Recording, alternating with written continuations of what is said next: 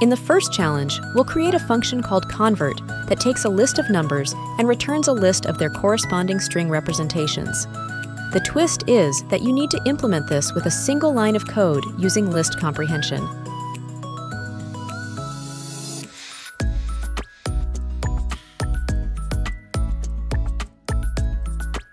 In this challenge, we're going to re-implement the zip function from scratch.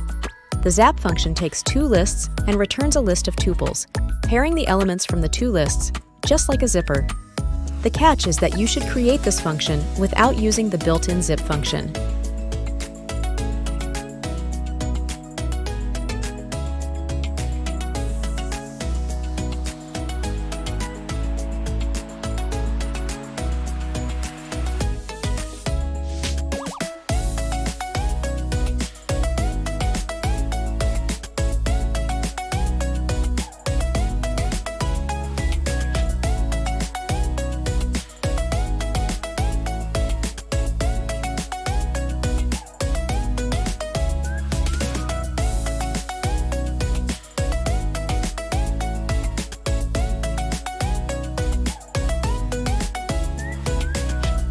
Here, we're diving into code analysis. The task is to write a function called validate that checks if a provided code string meets certain criteria.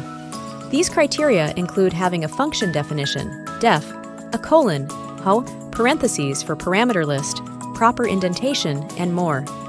The unique twist is that your solution should return true even when validating itself.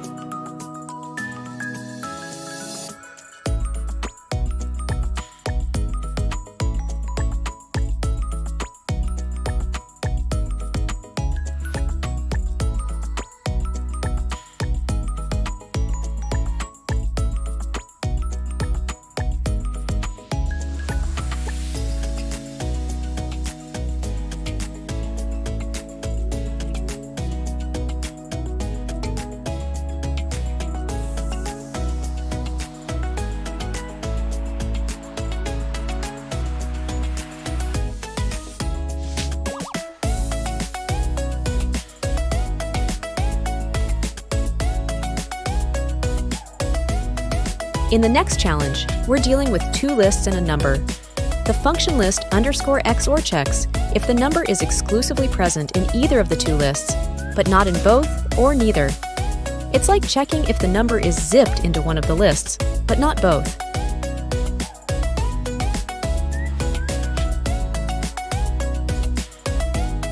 In this task, we're writing a function called param underscore count that accepts a variable number of arguments the function returns the count of arguments passed to it. This showcases how you can handle flexible argument lists using the asterisk arg syntax.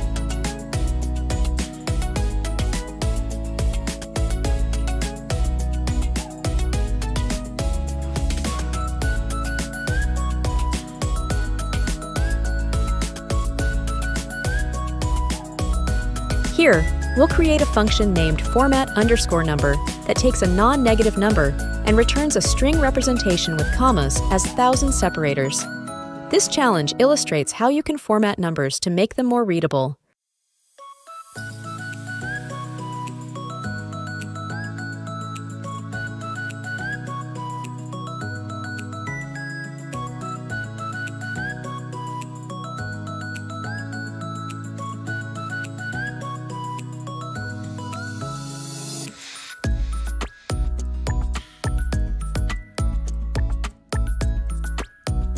Thanks for watching. If you enjoyed this video, don't forget to like, subscribe, and hit that notification bell for more content.